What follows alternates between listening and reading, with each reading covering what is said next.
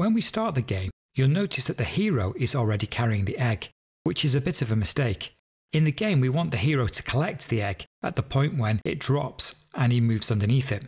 So to control that, let's add a variable. Hero egg is the variable that we'll use to control this. Move down to the set title function.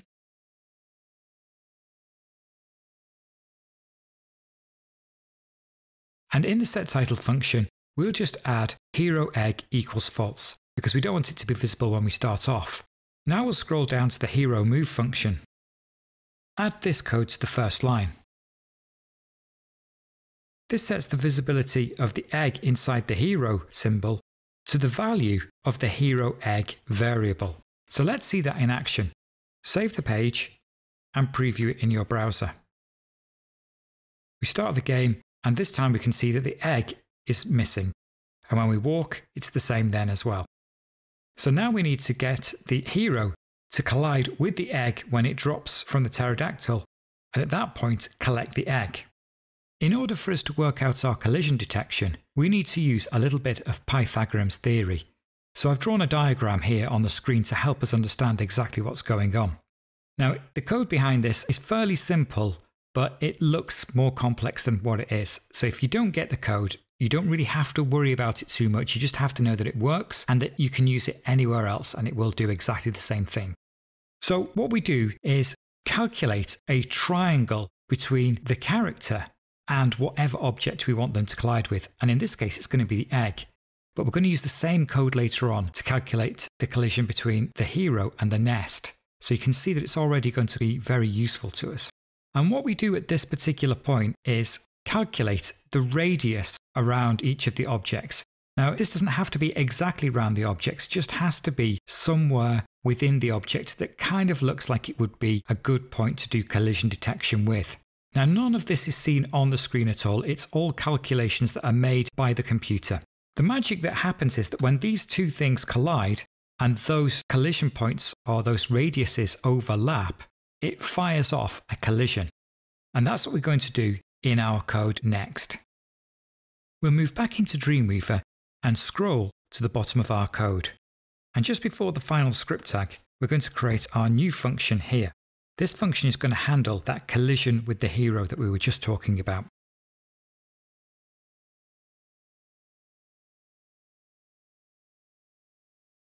So we create the collision hero function and we're expecting three commands to be passed forward into this.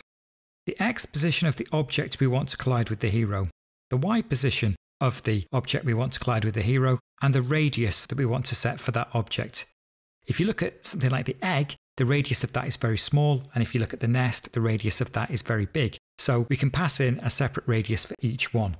We already know how wide the hero is, so we've already got the radius for that, and we'll just grab the hero's x and y position inside this function.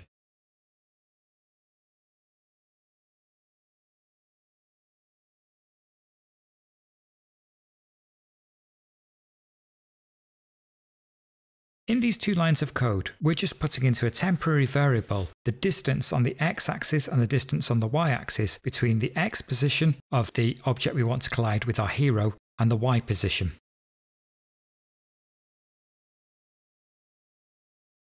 The next line of code gets the distance in the radius. It's the radius of the object and the radius of the hero.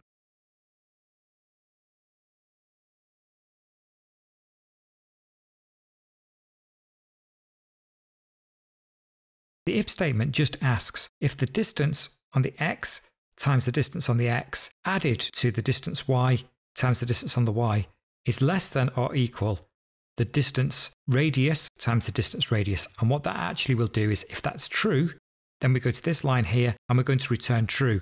So we're going to use the collision hero as an if statement and it should bring back true. And if collision hero is true, then we know we've got a collision. So we can call that inside our code.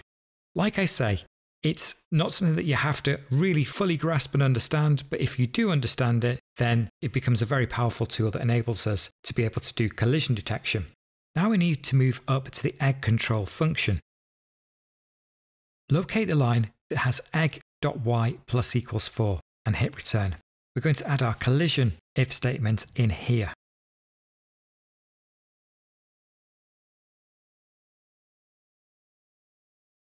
So what we're saying here is if collision hero with the egg on its x, the egg's y, and its radius of 18, and we've not got the egg already, then we're going to do something here. We only want to ever hold one egg at a time with our hero. So the first thing we'll do is increase our score because we want to reward them for collecting the egg at this point. So we're rewarding them at the point where they tap the enemy and it releases the egg. We want to reward them at the point when they collect the egg and we're actually going to reward them at the point when they return the egg to the nest. There's three times they can be rewarded. At this point, we want to turn on the variable hero egg because we want the hero to actually be holding the egg. So we want it to look like the hero's collected the egg at this point.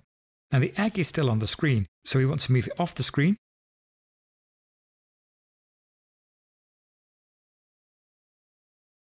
And we want to turn off the fact that we're dropping the egg, so this if statement won't be true anymore. Let's save that and let's preview that in the browser.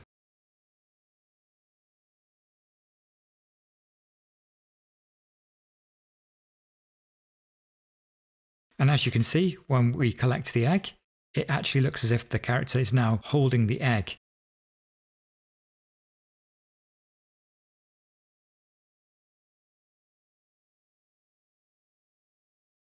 This time, it splats because we're already holding the egg and we only want to ever hold one at a time.